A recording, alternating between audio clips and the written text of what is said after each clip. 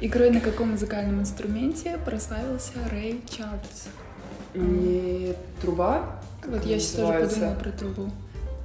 А, я не помню. как это саксофон? Да, да, вроде саксофон. Или нет? пианино пусть будет. Скорее это будет саксофон, потому что в то время он был более популярен, мне кажется. Рояль, пианино. Что-то мы угадали. От какого глагола образовалось имя Чебурашка? Что делать, чебуреть? Чеб... У меня одно слово идет, но я понимаю, что это не то. Чебуреть. Ну какое слово? Ну скажи просто. Это еда. Ну пусть будет еда. Потом все смеяться будут. Мы же вырежем. Вот этого чебурашку. Ладно. Чебурахнуться, то есть упасть. Понятно.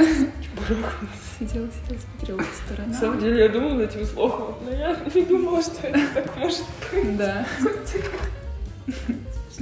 Назовите двух художников, которые писали картины в жанре импрессионизма. Ван Гог, э, Клод Мане, Эдуард Мане, э, Поль Сезанн, Поль Гоган, Пьер э, Ренуар. Импрессионизм, Ну, вроде бы, если не ошибаюсь, не ошибаюсь Пьер Ренуар, мне так кажется. Иван Гог. Не, мне кажется, Эдуард Мане. Я не уверена. Но я их, их выберу. Я выберу Клод Мане и Пьер Ренуар.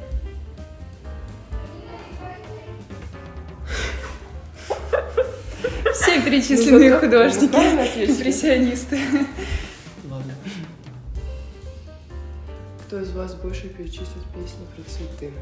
Белые розы, белые розы, да. А, Тополиный пух. Так, А. что еще?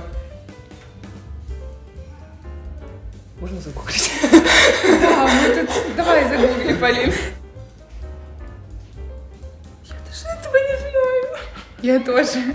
Все цветы Николая Баскова. Иванушки. О, Букет букет сирени, Иванушки, букет сирени. Это просто... Вот что мы знаем. Это хотя бы мы просто знаем. Уже хорошо.